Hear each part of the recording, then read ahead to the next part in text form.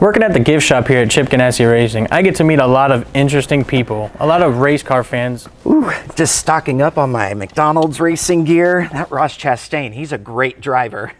I would have never guessed you were a Ross Chastain fan. Oh, he's the best. Want me to put this on your tab? You're too kind, my friend. Like I was saying, a lot of interesting race fans.